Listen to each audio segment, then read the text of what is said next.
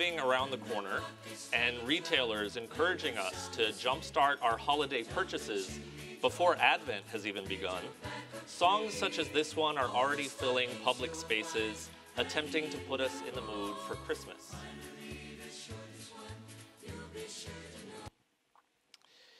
Each year may bring new cover versions of Christmas songs, often by pop artists struggling to keep their careers afloat. But the tunes are all familiar and cherished by us all.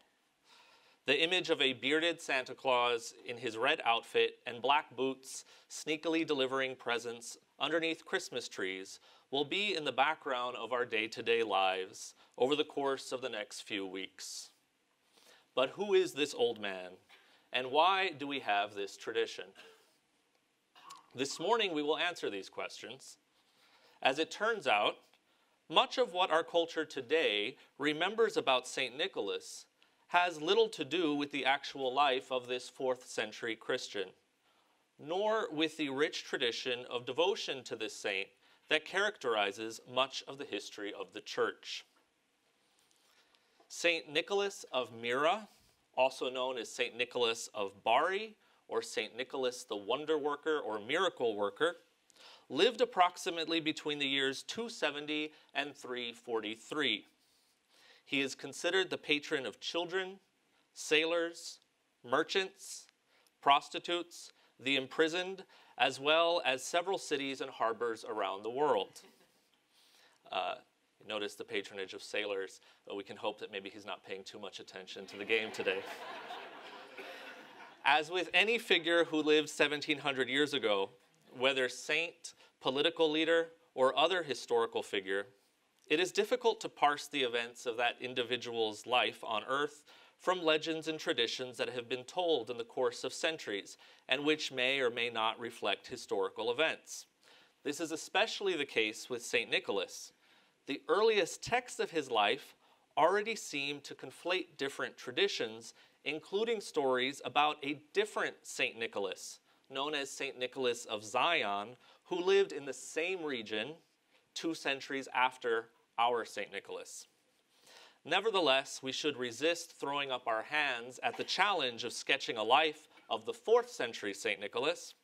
The stories that circulated about him in the early Middle Ages provide some key elements of his life story that are historically reliable, since they match archaeological evidence and other textual sources. Furthermore, even when we cannot be certain about a particular event's veracity, the stories that circulated about St. Nicholas still provide a colorful image of what his life meant to Christians at the time, why local churches lifted him up as a model of faith, and how his cult spread to become one of the most popular across Christendom. The oldest extant text that recounts the life of St. Nicholas was composed in the early 9th century by a Byzantine monk scribe known as Michael the Archimandrite. In my talk this morning, unless otherwise stated, when I cite directly from the life of St. Nicholas, it's from this oldest version, this 9th century text. While this life of Nicholas dates 500 years after the time of this saint, many of the stories about Nicholas already circulated for a long time, even though we have lost those older versions. And it's good to point out that the 9th century version, our oldest text, already proclaims, quote, there is no believer throughout the world who has not found him a help in danger and a keen ally amid various troubles. End quote. Evidently, by the 9th century, the fame of St. Nicholas of Myra was presumed. According to this life, Nicholas was born in Patara, a thriving Greek speaking maritime city of the Roman Mediterranean world, located along the southwestern coast of modern day Turkey. So that marks the town that he was born in. The city of Myra, where he became bishop, is just the next town over um, to the east. So that marks where his life uh, was passed. He was born, according to his life, to pious Christian parents who gave him a Greek name that predates Christianity, Nicholas, meaning literally victory of the people. Scholars note that the name Nicholas, while predating our 4th century saint, was quite rare and only became common in the period following St. Nicholas, due mainly to this saint's popularity. We read that Nicholas was the firstborn and only child to his parents, whose original names have been lost to history, although some later stories uh, make up names to sort of fill in that gap.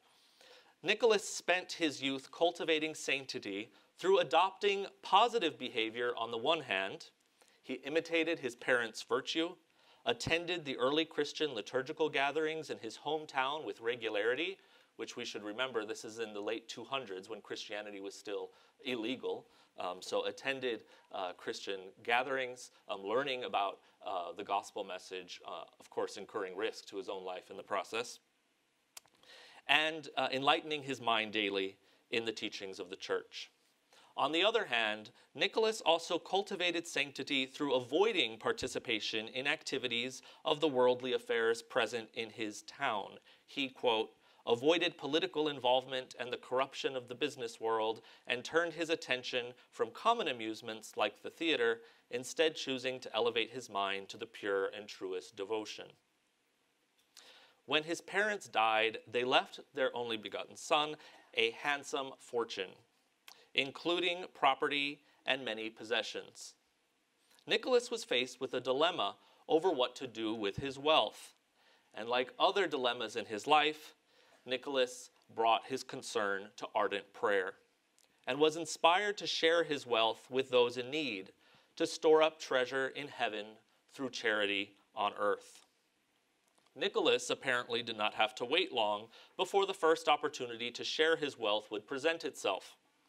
His next door neighbor was struck with economic trouble and reduced to destitute poverty. This neighbor also had the financial challenge of supporting three young adult daughters. Since his daughters were all beautiful and of marriageable age, which at the time we can imagine would have been you know, teenagers, um, he tried to find a man in the city who would marry each one of them. But even the lower classes refused to do so without a proper dowry, which their father could not afford. Giving into despair, Nicholas's neighbor plotted to place his daughters into prostitution at a brothel as a means of obtaining money to support the family. Nicholas stepped in to save the young girls from this misfortune. Being careful not to trumpet his own charity, Nicholas threw a bag of coins into the man's house at night, a scene captured throughout the history of Christian art, exemplified here in this 15th century example. Um, this is a relatively small panel painting that's at the Vatican Museums. It's only about this big. Um, it's one of multiple panel paintings painted by Fra Angelico or Beato Angelico, who's also a saint. He was a Dominican uh, in, the in the 15th century, in the 1400s, uh, living mainly in Florence. And uh, one of the panels he painted was from the life of St. Nicholas. And you can see here on the left, it's the birth of Nicholas. In the middle, here's Nicholas listening to the preaching of the bishop in his town. Of course, the town is stylized as an idealized, um, you know, Italian Renaissance city, but you know, the scenes, of course, are taken from his life. And then the scene that concerns us here is on the far right, which is this is the man who's been reduced to poverty. These are his three daughters sleeping, and here is Nicholas reaching through the window to drop a bag of coins. The father, moved to tears with gratitude to God, immediately used the money as a dowry for his first daughter. Upon seeing the great deed that occurred through his action, Nicholas rejoiced and decided to throw a second bag of money at night, which the father then applied to his second daughter, and promptly married her off to a good family. When Nicholas returned to drop a third bag for the third daughter, the father was waiting and ran out of the house to discover the identity of the mysterious angel. Upon seeing his neighbor, Nicholas, he threw himself down at his feet, confessing to Nicholas his prior plot and thanking Christ for the mercy he had shown him through his instrument, Nicholas. Imitating Christ's mercy in the Gospels, Nicholas raised the man up from his knees and sent him away in peace, yet warned him to tell no one of his charitable deed. The story, one of the most popular in the life of St. Nicholas, already captures qualities that would come to define him, namely, charity given in good cheer, humility, and concern for the destitute and especially the young. One of the aspects of St. Nicholas's life that historians all agree upon is that he was elected bishop of the metropolis of Myra, close by to his hometown in the early 4th century. According to one tradition, he was elected bishop of Myra after spending several years living as a monk in the Holy Land. In fact, the Notre Dame Jerusalem Global Gateway and the university's ecumenical center known as Tantur, located halfway between Jerusalem and Bethlehem, is just a stone's throw away from a late antique church dedicated to St. Nicholas and built atop the cave where it is said that he lived as a monk before returning to Asia Minor, where he was made a bishop. Uh, here on the right is a picture of the gate entrance to Notre Dame's Jerusalem campus. This is the olive grove uh, on the Notre Dame campus, and you'll see that's the uh, Israeli wall. Right behind there is a Palestinian town called Beit Jala, and it's traditionally a Palestinian Christian town. And in the heart of that town is a church uh, dedicated to St. Nicholas. So it's just across the street from uh, the Global Gateway of Notre Dame. Um, Given that Notre Dame's Jerusalem Gateway campus has long been entrusted by the Vatican to cultivate ecumenical research and dialogue, it is fitting that it has a special, special connection with one of the most popular saints across Christian denominational lines, St. Nicholas. That Nicholas was elected Bishop of Myra is not only recorded in the earliest accounts of his life, the first records, uh, oldest records of the Council of Ecumenical Council of Nicaea, the First Ecumenical Council of 325, record him as a participant and list him as Bishop of Myra. Although the legend of him punching or slapping the heretic Arius at the council out of zeal for Christian doctrine represents an entertaining late medieval um, invention that has no basis in the early accounts of his life. The legendary account, though, of his frustration with Arius does capture his ardent conviction in Christian faith that is recounted in the oldest versions of his life. We read that he was a key player in shutting down pagan cult sites in the city of Myra. Um, he had an impact in the urban uh, you know, landscape of the city. Here you can see these are ruins that date from the time of Nicholas when he was bishop in the city of Myra. He apparently tore down pagan cult sites, including the main temple of the city, which was dedicated to Artemis. As the Vita reads, quote, he went to the most foul building and overthrow not only its upper parts to the ground, but also dug up the very foundations and rendered the demons who dwelled there exiles, which is what you can see here, the demons fleeing. Stories of Nicholas tearing down pagan temples uh, might not settle well for contemporary audiences used to learning about the benefits of religious tolerance. And we certainly shouldn't take Nicholas's actions today as a literal example of how to treat non Christian religious buildings. But this story does still stand as a model for the conviction of faith that all Christians are called to. That is to say, the life of Nicholas challenges its readers of yesterday and today to stay true to their belief in the evangelic message vis a vis beliefs and practices that contradict the Christian faith. And herein lies one of the characteristics of Nicholas's life. He is equally devoted to mercy as he is to Christian doctrine. This is an important lesson for us today. Today, we sometimes project an opposition between, on the one hand, a church that focuses on theological reflection and doctrinal teaching, to, on the other hand, a church that focuses on mercy. The life of St. Nicholas is telling us you can have it both ways. Along the lines of Nicholas's embodiment of Christ's mercy, we find many stories of him coming to rescue those in distress. He was apparently a man very concerned with corruption in the criminal justice system. In one instance, he stepped in to save three men about to be executed for a crime they didn't commit and exposed the bribery that lay behind the false condemnation. we read that he continually stepped in to protect individuals being mistreated by those in power and even appeared to judges in dreams, threatening them against unjust prosecution. One of the most famous early miracle stories about St. Nicholas is the case of a bilocation, in which he saved sailors in trouble at sea. Fearful for their lives in the middle of a Mediterranean storm, some of the sailors decided to call out for Nicholas's help having heard of his wondrous deeds. Nicholas appeared at once. Late medieval and early Renaissance artists sometimes depict Nicholas in ways that strike us today like a Marvel comic superhero. In contrast, what is charming about the story in its earliest iteration is that Nicholas does not fly in through the sky, nor does he calm the storm through a command with instantaneous results like Christ does in the Synoptic Gospels. When Christ calms the storm, nature obeys immediately, manifesting Christ's dominion over all creation. Instead, when Nicholas comes to the aid of the sailors caught in a storm, he joins in with them, helping them alongside. Quote, enduring with them at every part of the boat, that is, with ropes and poles, he thus, with God's help, saved them from the danger and after guarding them closely, restored them to a calm anchorage. The story thus underscores both Nicholas's ability to work miracles through his sanctity, but also stresses that Nicholas was like you and me, thus rendering reminding readers of their own capacity to cultivate sanctity like Nicholas. One miracle story of Nicholas had a particular role in cementing his patronage over children. It is quite the drama.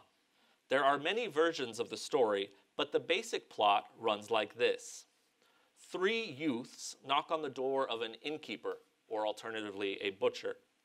He lets them in and he murders them, placing them in a tub of salt water to pickle them. Seven years later, Nicholas comes by the inn and notices that the innkeeper is serving food made from humans. He goes to the pickling tub containing the children's remains still. He blesses the remains and raises the children from the dead. The butcher, after expressing ardent remorse, uh, is then pardoned by Nicholas. It might not surprise you to know that this story is missing from the earliest versions of Nicholas's life. but it did have considerable currency in northwestern Europe. Uh, you can see here late medieval illumination, and here is a, a statue circa 1500 from the south of Netherlands. Some scholars have suggested it should be read as an allegory of baptism, in which the church, represented by Bishop Nicholas, gives new life to children through the font of baptism. And you can see the visual similarity between the pickling font and, of course, a baptismal font, with children coming out born anew, resurrected. Nicholas's miracles accompanied his body in death. According to the oldest texts of his life, Nicholas was renowned during his life for a blessed smell. The scent did not escape his body upon death, after being buried outside the city of Myra, the faithful went to pray there. Devotion to St. Nicholas grew quickly within Asia Minor, as evidenced by the construction of a church atop his tomb not long after his death. This church that you're looking at dates to the year 520, um, and it's a reconstruction of an older church. Archaeologists have found an older church underneath, which would have been constructed soon after Nicholas's death. Um, and the church, both the older church and the newer church from 520, they're built atop an ancient Roman burial ground. And from an archaeological perspective, whenever you find a fourth century church on top of a burial ground, that's typically because there was a Christian saint buried there. And once Christianity was legalized, Christian communities quickly built churches atop the tombs that they were already visiting at times of persecution. Um, so fourth century church, of course, so here, uh, built already in the time period of Christianity's legalization, would have been a small church that was demolished in the year 520 and reconstructed.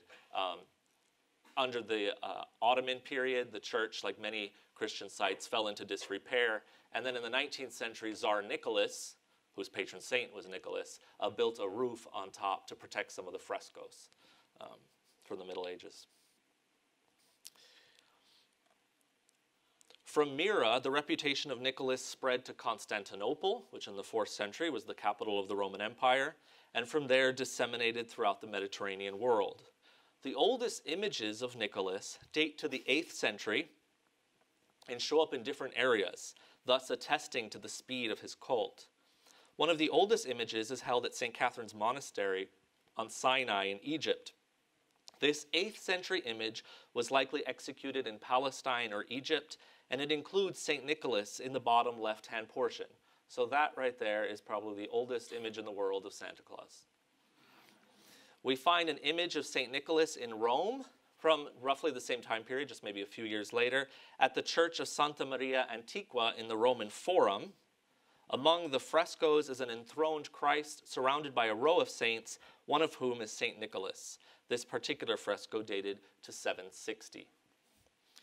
The cult of Nicholas continued to develop in Rome in the 8th century, and by the end of that century, Pope Adrian built Nicholas his own church in that city, still standing to this day, the Church of St. Nicholas in Rome. When I was preparing this paper, I was struck by the evidence of devotion to St. Nicholas in the city of Rome. Um, and having lived there for many years, um, I was intrigued by where devotion was popping up within the city. And so, for fun, I mapped out um, all the 8th century evidence for devotion to St. Nicholas in the city of Rome. You have um, this top star. There was a church that had a relic of St. Nicholas that's uh, described in a, an inscription from the 8th century. This is the church built by Pope Hadrian, also in the 8th century. Two frescoes of St. Nicholas in a church here. And right here, there was an entire chapel or altar dedicated to St. Nicholas. And this struck me because you'll see this triangle that's formed. That triangle essentially frames what in the early Middle Ages was the Greek community of Rome. So that tells us that devotion to St. Nicholas was probably entering the city through the Hellenic population, and then from there became more of a broader devotion in the city of Rome, and of course, practices in Rome easily spread throughout Western Europe. So it kind of gives us an indication as to how devotion to St. Nicholas traveled.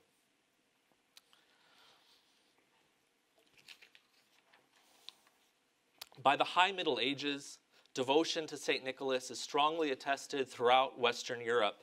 An example here being the beautiful uh, scenes of the life of Nicholas in the stained glass of the 12th century from Chartres. Due to devotion towards St. Nicholas across the Christian world, faithful desired to visit his tomb in Myra, and many Christians made pilgrimages there or incorporated visits to his tomb as part of bigger pilgrimages to the Holy Land. The 11th century, though, was not a good time for this, as war raged between the Byzantines and the Muslim Turks. Although the territory was eventually regained by the Byzantines, they temporarily lost much of Asia Minor. According to one account, in the year 1087, Venetian merchants who were at the time trading in Syria set their eyes on moving St. Nicholas's remains to Venice. As you can imagine, St. Nicholas, as patron of sailors, was very important to a growing maritime power like Venice. However, merchants from the city of Bari in southern Italy discovered the plot. Now, Bari was an important city at the time uh, and a competitor to Venice. You can see here on the map that Bari was a major departure point for travel to the Middle East, especially during the Crusader period. That's Bari right there. When merchants from Bari learned the Venetian plan to take St. Nicholas's remains, they decided to beat the Venetians to it. Different accounts characterize the translation of St. Nicholas's relics to Bari variously as either merchants stealing from the monks of the Church of St. Nicholas at Myra, or victoriously saving the relics from the advancing Turks. Either way, May 9th is marked on the liturgical calendar as the feast of the translation of the relics of St. Nicholas to Bari, a feast commemorated by Catholics and many Orthodox alike. Almost overnight, this is one of the places, this is believed to be the original tomb of St. Nicholas. You can see it opened right there. Some have attributed that opening to the uh, merchants of Bari. Bari turned into a pilgrimage destination and remains so to this day as devotees of St. Nicholas flock there to pray at his tomb. Today, the church is administered by the Dominican order. Due to the great love towards St. Nicholas in both the Christian East and West, the Dominicans regularly found themselves in contact with Orthodox Christians in Bari, and thus, in the aftermath of the Second Vatican Council, the Dominicans founded an institute for ecumenical patristic research in Bari near St. Nicholas's tomb. The institute is named in his honor, and St. Nicholas is increasingly referred to as the saint of Christian unity. I'm going to play for you a short video now that shows contemporary devotion to St. Nicholas in Bari. On his feast, the city erupts in celebration and carries images of Nicholas throughout the city with multiple processions by land and by sea. The celebrations include a solemn mass celebrated by the Archbishop of Bari, at the conclusion of which there is the official extraction of water from the tomb of St. Nicholas. For centuries, the tomb has been collecting water. Puddles collect amid the dust and bones of Nicholas. Some faithful associate it as a miraculous occurrence, Others claim it is condensation buildup. Either way, the liquid is at least a relic through its contact in the tomb. And of course, the water itself is mixed with particles of Nicholas's dust remains. Only about 50 milliliters of this water, known locally as manna, is removed from the tomb each year, only once per year on the feast of St. Nicholas and then it is mixed with holy water and distributed to pilgrims. So we'll see that at the conclusion of this short video.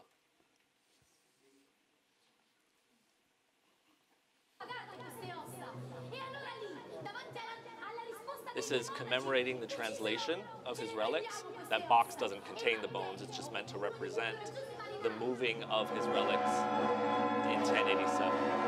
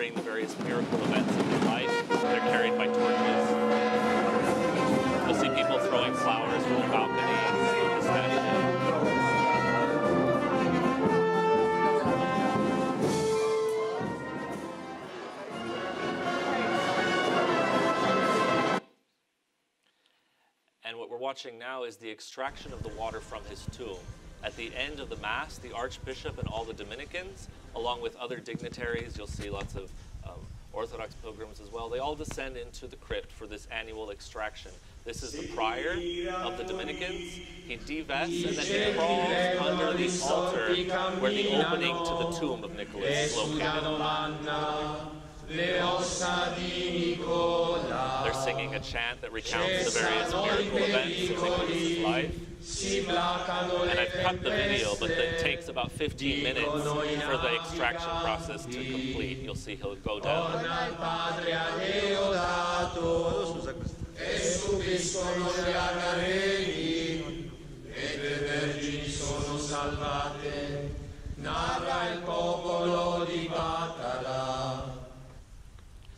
About 15 minutes later, he'll come out.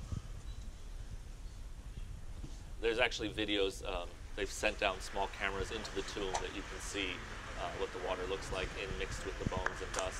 You'll hear the people upstairs in the cathedral applauding, and then the applause travels down, the clergy join in. He gives the bottle to the archbishop, who venerates it, and then everyone in the crypt and all the faithful upstairs venerate it. Um, this is what you'll see happening right here.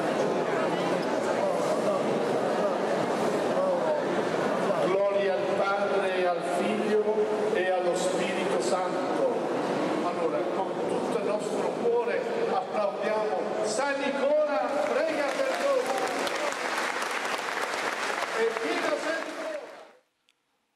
live St. Nicholas, the Dominican is saying. Devotion to St. Nicholas is strong around the world. St. Nicholas is one of the patron saints of Russia, where devotion to him is particularly strong, perhaps strongest. After their takeover in 1917, the Bolsheviks set about removing religion from public life, and this had a major effect on St. Nicholas. After the Bolsheviks attempted to cover up a 15th century image of Nicholas that guarded the entrance to the Kremlin, Patriarch Tikhon of Moscow famously summoned all faithful Muscovites to assemble before the image on St. Nicholas Day. Thousands turned out. The square was filled to capacity as faithful showed up to manifest their Christian faith in the face of oncoming persecution and to manifest their devotion to St. Nicholas. Soldiers of the Red Army looked on and fired shots in the air to intimidate the crowd, but that did not deter them. St. Nicholas Day of 1918 would go down in history as one of the last major manifestations of public religious resistance to the Bolsheviks. Just two months later, the previously deposed Tsar Nicholas, named in honor of St. Nicholas, would be killed along with his family, and the image of St. Nicholas that guarded the Kremlin for 500 years would be covered over. Since the collapse of the Soviet Union, devotion to St. Nicholas has surged while US media this past summer was focusing on Russia for other reasons, there was a major event that took place in the history of the cult of St. Nicholas there that escaped our attention. The Dominicans of Bari sent a left rib of Nicholas to Russia for one month so that the faithful could venerate it. It was a solemn occasion with thousands of people attending and lining up for as long as 10 hours to venerate his relic. So this is Bari. The Dominicans uh, transferred a, a, relic of St. Nicholas. That's the Archbishop of Bari, together with the Russian Orthodox Archbishop. He was received with the whole military honor, the bone uh, of Nicholas, and brought to the cathedral in Moscow and then the cathedral in St. Petersburg so the faithful can venerate this patron saint.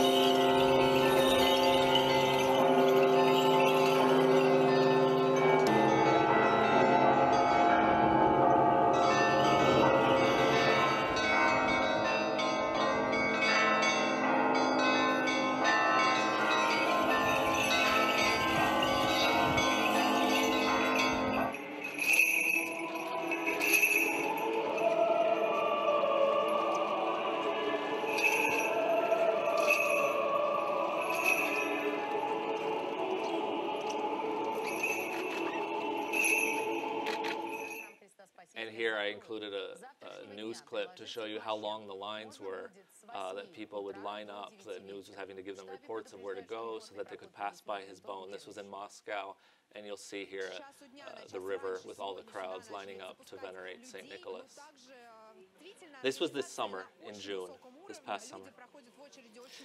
In the West, devotions to St. Nicholas uh, have led to many customs, especially built around Nicholas as patron of children. In medieval England, one particular custom was that on the feast of St. Nicholas, the various boys' choirs of the cathedrals and churches would vote among themselves to elect a bishop for a day from among the boys. this boy bishop would serve as bishop for the entire feast day of St. Nicholas. He was dressed in bishop's vestments and officiated at Vespers, gave a homily, and said the benediction at meals. This was a tradition that combined veneration for St. Nicholas in good humor with the cultivation of a love for the office of bishop among children, and also the humbling of the actual bishop to remind him of his own call to be childlike in his own imitation of St. Nicholas and the Magnificat, which proclaims the exaltation of the lowly. The tradition was abolished by Henry VIII reinstated by the Catholic Queen Mary, and then reabolished again by the Protestant Elizabeth. Nevertheless, following the so called Oxford movement within Anglicanism, there was a revival of this custom, and then the tradition was likewise revived among some English Catholics.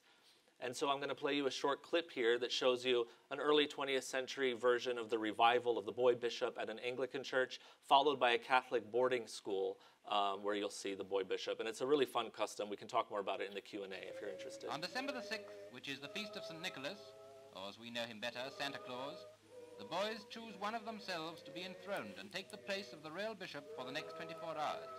His duties including receiving offerings from the boys and masters and preaching a sermon.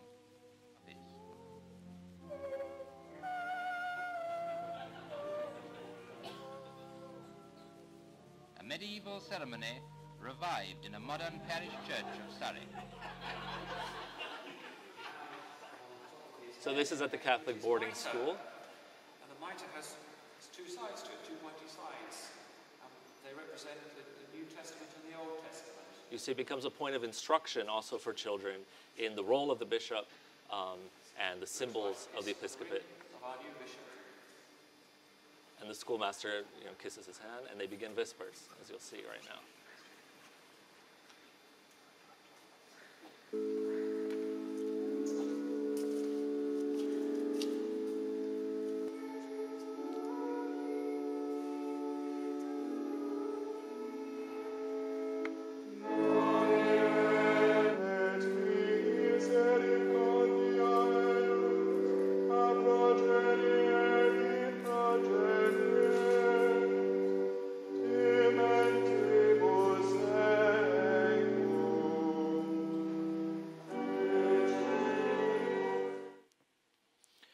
One common tradition in parts of both Eastern and Western Europe was to give children coins or sweets to celebrate St. Nicholas.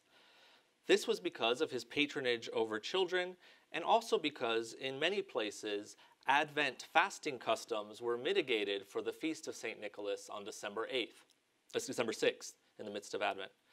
Uh, the tradition of giving coins to children on Nicholas Day was, of course, related to the story of Nicholas leaving coins for the young women. One late version of this story recounts that when Nicholas attempted to throw the money through the window, he discovered it closed, and so he had recourse to the chimney, where they landed inside, according to different versions, the stockings or the shoes of the family members, since they had placed their stockings and shoes near the fireplace to dry. Hence, children would look forward to waking up on the feast of St. Nicholas to find a similar gift of coins or other treats inside their shoes or stockings. So, how do we go from this hagiographical commemoration of Nicholas on his feast day, December 6th, to the tradition of Santa Claus coming on Christmas? This is a complicated history of fusing different customs. As some of the Protestant reformers attempted to move away from the cult of the saints, it was also difficult for them to abandon some of the cherished customs, like that of giving children sweets or coins on the feast of St. Nicholas, or Sinterklaas, as he's known to the Dutch, from which we get Santa Claus in English. Martin Luther specifically discouraged the giving of gifts by St. Nicholas and instead encouraged the tradition of the Christ child bringing gifts on Christmas itself. Today, in some regions of Europe, you have St. Nicholas treats on the feast of St. Nicholas.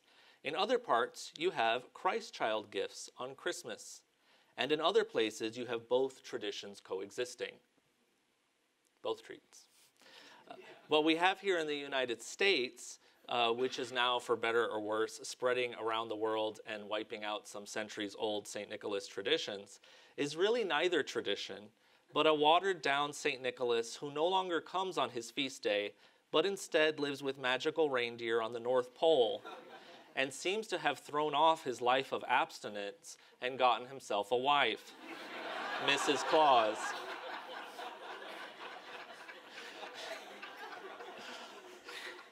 He also seems to suffer from gluttony and the lack of self control in front of chocolate chip cookies.